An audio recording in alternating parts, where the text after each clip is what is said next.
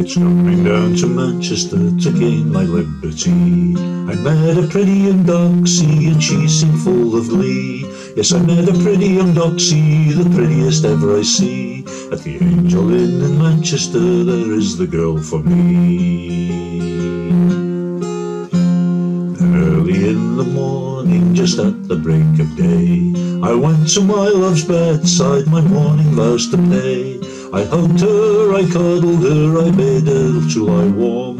She said, My jolly soldier, do you mean me any harm?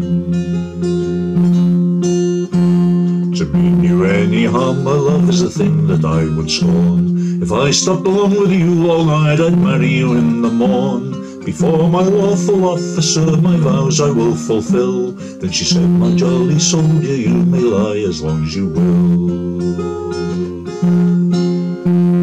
Our out came on the Thursday, on the Monday we marched away. The drums and fifes and bugles so sweetly did play. Some hearts they were merry, but mine was full of woe. She says, May I go along with you? Oh no, my love, oh no.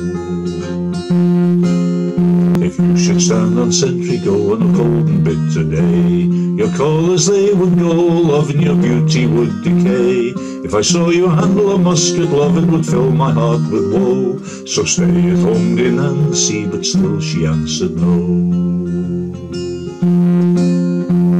I'll go down to your officer and I'll buy your discharge. Ten guineas I'll surrender if they'll set you at large. And if that will not do, my love, along with you I'll go. So will you take me with you now? And still I answered no. I'll go down in some nunnery and there I'll end my life. I'll never have no lover now, nor yet become a wife. But constant and true-hearted love forever I'll remain. Never will get married till my soldier comes again.